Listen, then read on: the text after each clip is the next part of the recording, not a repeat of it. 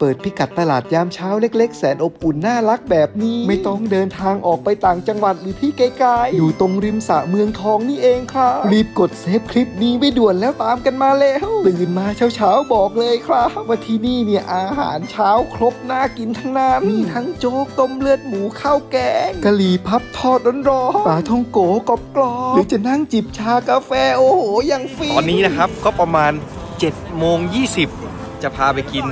ร้านเด็ดเด็ดอยู่ริมสระเมืองทองเลยแต่ละร้านนี่บอกเลยครับว่าเด็ดไปตามผมมายาวไปนู่นเลย ร้านแรกนี้คนเมืองทองไม่มีใครไม่รู้จักครับปลาท่องโกจิ๋วคุณป้าเนี่ยอร่อยที่สุดแล้ว ร้านถัดมาใกล้ๆเลยกะหรี่พับทอดร้อนๆไส้แน่นมากต้องมาลองครับติดใจกันแน่ๆโจ๊กร้านนี้คิวยาวไม่แพ้กันเลย ผมก็เพิ่งเคยเห็นว่าคุณป้าเนี่ยทำชึบชึบชึบแบบนี้โจ๊กจะละเอียดเดินมาอีกนิดก็จะเจอหมูปิ้งหอ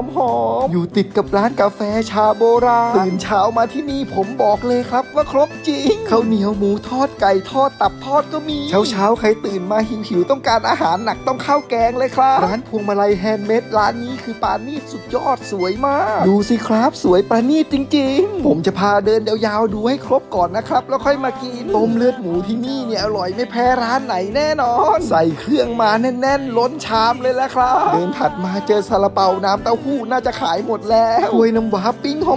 มๆเอาละครับ เดินครบทุกร้านแล้วคราวนี้ก็ได้มานั่งกินบ้าง มาเริ่มกันด้วยโจ๊กก่อนเลย ของพี่ผมโจ๊กไข่เยี่ยวมา ส่วนของผมโจ๊กหมูสับใส่เครื่องแน่นๆ ไข่เยิ้มๆผมก็ชอบปรุงเครื่องสักหน่อยละครับ เพื่อให้มีรสชาติตักขึ้นมาเห็นเนื้อโจ๊กไหมครับ อย่างเนียนเครื่องก็แน่นโอ้โหนุ่มละมุนไปหมดเลยละครับ ต่อด้วยต้มเลือดหมู ทีเด็ดของที่ร้านเลยคือใส่เครื่องแบบไม่ยัง้งผมเป็นคนที่ติดปรุงสักหน่อยละครับ ก็ขอปรุงนิดนึงไม่รู้ใครเป็นเหมือนผมบ้างนะครับ ชอบตื่นเช้า แล้วก็ออกมาหาของกินชิวๆดูเครื่องที่ใส่มาสิครับ ชิ้นใหญ่จะจ้ากินกับข้าวสวยร้อนๆโอ้โห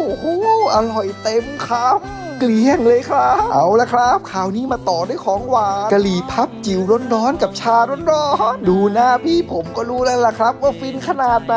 ใส่ถั่วมาอย่างแน่นกะหรี่พับที่นี่เนี่ยมาช้าอดนะเพราะพี่เขาจะทอดร้อนๆสดใหมาจะมีความมันหอมกรอบกินเพลินแน่นอนละครับ กินคู่กับกาแฟดำอย่างผมก็ฟินไปสิครับนี่เลยปลาท่องโกขึ้นชื่อของที่นี่ปลาท่องโกจิ๋วจิ้มคู่กับสังขยากัดเข้าไปนี่กรอบกรุบพอดีคคำเลยแหละครับตัวเนื้อสังขยานี่ก็หอมนุ่มละมุนพี่ๆคนไหนเคยมาแล้วก็คอมเมนต์บอกกันหน่อยนะครับหากใครยังไม่มาก็ลองตามกันมานะครับ